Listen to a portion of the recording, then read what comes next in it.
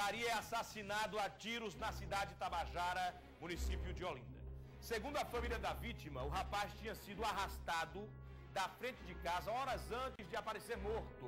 E tem um detalhe: de acordo com informações no local, ele teria participado do roubo de um automóvel, mas não foi qualquer automóvel.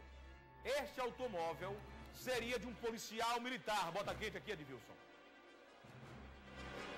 O homicídio foi registrado aqui na estrada da Mangabeira, no bairro de Cidade de Tabajara, em Olinda. A vítima foi identificada pela polícia. Notilian Felipe Alves da Silva, 20 anos de idade. Poucas são as informações passadas sobre o homicídio ocorrido aqui no local. Isso porque a estrada da Mangabeira é de difícil acesso. Poucas são as pessoas que trafegam durante o período da noite aqui no local. Agora, a única informação sobre este crime é que homens em moto teriam trazido este homem para cá e efetuado vários disparos. Uma outra informação passada pela polícia é que um casal, no início da noite de hoje, acabou indo no plantão da delegacia de Olinda atrás do filho. Foi prestar queixa, dizendo que o filho, no início da noite, tinha sido arrastado por homens em um Siena preto e não tinha mais aparecido em casa. A polícia suspeita que este rapaz pode ser o familiar que o casal estava procurando.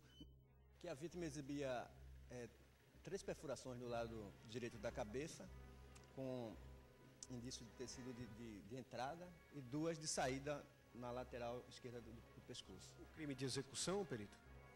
Exa exatamente. Né? É, disparos na cabeça a curta distância. Né? E o local ermo, né? Ele foi encontrado aqui no local pouco habitado. Né? E tudo indica ter sido um, uma execução.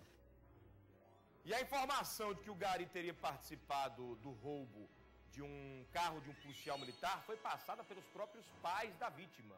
Eles prestaram depoimento agora há pouco no DHPP e contaram isso, que o filho foi detido na semana passada, suspeito de ter roubado o carro de um policial militar.